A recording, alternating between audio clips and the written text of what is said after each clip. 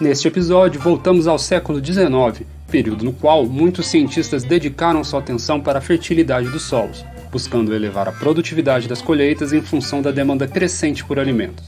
Um destes pesquisadores, o químico alemão Justus von Liebig, conduzira junto de sua equipe experimentos que resultaram em avanços para o entendimento de como as plantas se nutriam dos solos. Suas descobertas impactaram profundamente o meio científico. O pensamento hegemônico sobre a nutrição de plantas se apoiava grandemente na teoria do humus. Liebig foi um dos responsáveis por uma mudança de paradigma na nutrição vegetal, popularizando a teoria mineral. Como resultado de suas investigações, publica em 1840 a obra Aplicações da Química Orgânica na Agricultura e Fisiologia e populariza o Teorema do Mínimo, ou Lei do Mínimo, como ficou conhecida.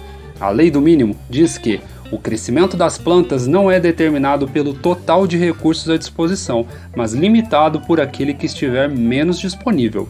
Ou seja, se o elemento mínimo for o potássio, a produtividade não será maior, mesmo se as quantidades dos demais nutrientes forem aumentadas.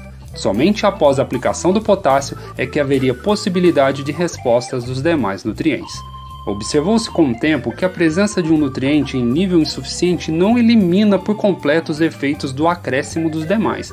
Entretanto, ainda assim a produtividade é afetada.